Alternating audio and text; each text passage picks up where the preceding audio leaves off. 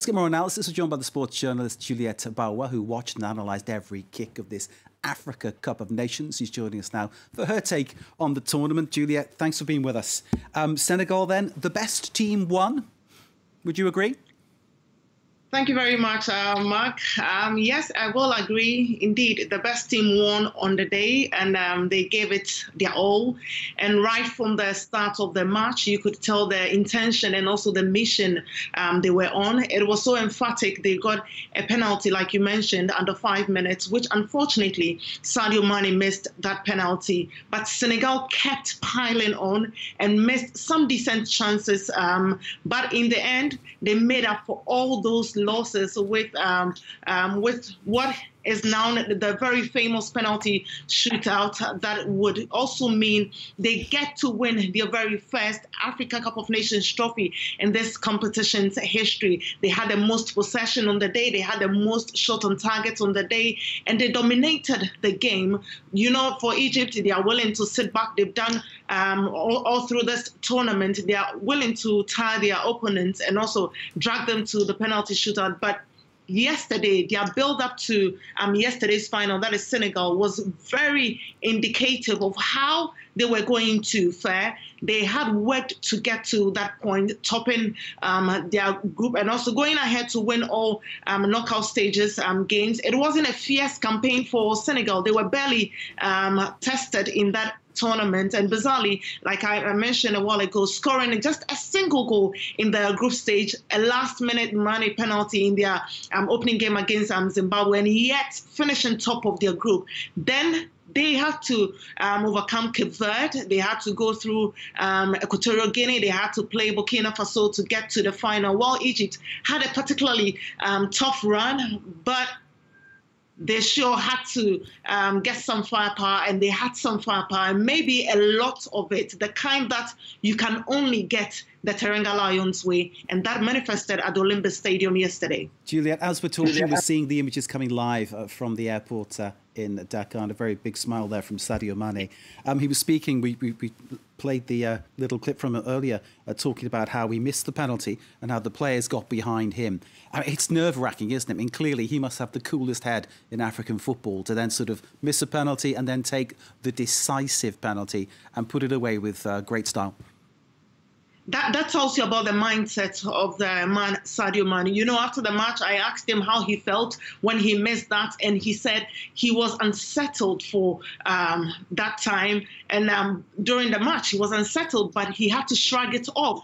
And he did that just um, by saying that the, his colleagues, rallying his colleagues to keep him going, and they had to tell him that we are losing. If we lose, we're losing together. If we win, we're winning together. And they responded. They once again took the game to the Egyptians, giving us a scintillating final. And Mane is the talismanic core of the Senegalese team. He holds the fire that gets the team going. And so you could understand what a sudden penalty miss under that five minutes of a crunch final meant um, to him and also the team but as determined as they were, as determined as he was, the team responded positively and quickly got back into the group, settling things head on. And Mane himself didn't look like someone who had um, just missed a golden opportunity. He went in, missing a few chances, but ended up contributing to the overall success. During the penalty shootout, I had my eyes fixed on him on the pitch. He could barely, barely, barely watch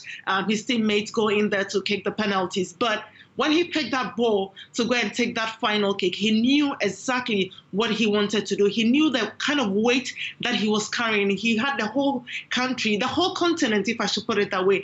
It looks like everybody wanted to see Senegal win. And I hear what you're saying completely, Juliet. I noticed during the actual, as when he was taking that final kick, uh, Idrissa Gana turned away and he couldn't look either. So clearly there's a lot riding on it, and we see that quite a bit. Um, let's just take a listen to Mane describing the importance of coach Aliou Cisse. Uh, take a listen to this.